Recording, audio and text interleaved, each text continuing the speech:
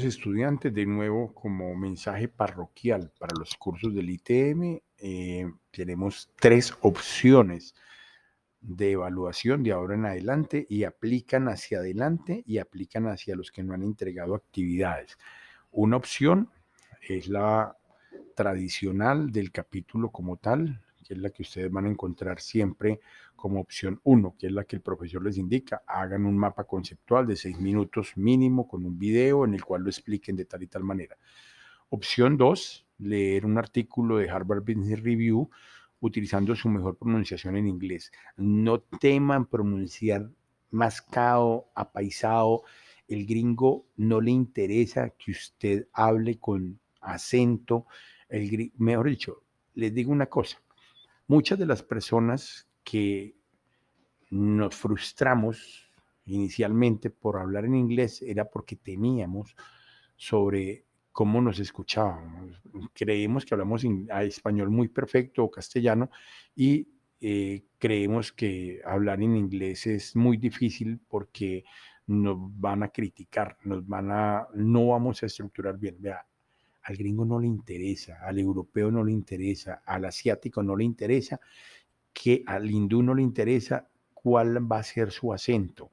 Hable inglés como le venga como pueda, como entienda las sílabas. Si usted ya ha tenido una formación de inglés en su colegio y con lo que le quedó, no sienta vergüenza, no sienta pena, elija un artículo, lee 20 minutos y al final uno o dos minutos para resumir en español y decir qué fue lo que usted leyó de ese artículo y cómo lo entendió y cómo se asocia a, lo de esa semana. Eso es otra opción que tienen. Y la última opción, la opción 3, es escribir. El que no le guste hacer videos ni leer en inglés, pues resuelve el reto, pero escribiendo 750 palabras, simplemente primer párrafo, 150 palabras diciendo por qué considera que este reto se debe hacer o cómo entiende usted la explicación del profesor de este reto enmarcado en los dos videos de la semana o en el video de la semana. Segundo tercero y cuarto párrafo, párrafos de 150 palabras desarrollando el reto. Esto fue lo que se hizo, esto fue lo que se encontró, el autor que se revisó, el autor dice esto, un ítem, un ítem, ta, ta, ta. usted configura eso básico en tres párrafos, ya usted mirará así más. Y el último párrafo, 150 palabras, haciendo la conclusión de los resultados de aprendizaje. ¿Qué aprendió usted allá?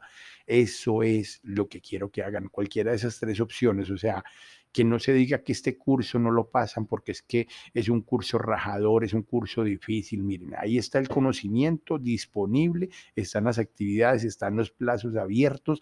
Pónganse al día, por favor. Ayúdense en el proceso formativo. Miren que hay gente brillante que los jalona y ustedes pueden ver ahí en los foros. Vea, hay pelados que desde antes que llegue el domingo, el sábado, ya están mandando los videos. Y no es que sea la persona desocupada, muchos son gente con, con trabajo. Hay una niña que me está escribiendo siempre los martes, cuando me he colgado el martes al mediodía, profe, es que es el martes en la tarde que yo destino para esto. Es una mujer que trabaja y tiene hijos. Y yo digo, ¿cómo es posible que haya personas que no tienen esas condiciones, pero que no hagan los videos? Es decir, el proceso formativo está a disposición de ustedes. Ustedes son los que tienen que utilizar la educación pública para transformar esto y poder ganar reputación intelectual, social, académica y económica. Eso nos va a subir un poco la escala a nivel general, pero ustedes tienen que trabajar en eso, muchachos. Ahí está el reto de esta semana. Estos son los parroquiales. Espero que les vaya muy bien. Listo.